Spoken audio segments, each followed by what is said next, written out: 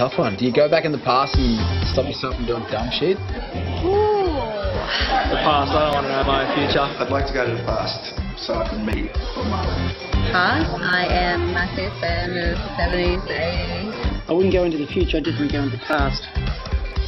Get Jinx to sing more songs. And I'd like to go back to the past and maybe see myself and go, you're so gay.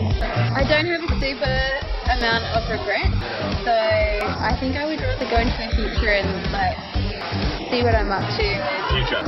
Past is dangerous. I'm messing with that sort of stuff. I would much rather go to the future because I need to know ASAP if hoverboards are actually going to be invented. Move to the future, so then I can come back and tell everyone what's going to happen.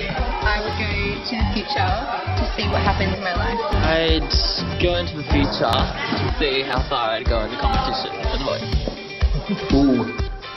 I, I actually had a big debate about this with my mates before. They're like, why are you traveling to the future? See what the world's going to be like. But I feel like I'm already traveling into the future. Like each second, I'm getting closer and closer to the future.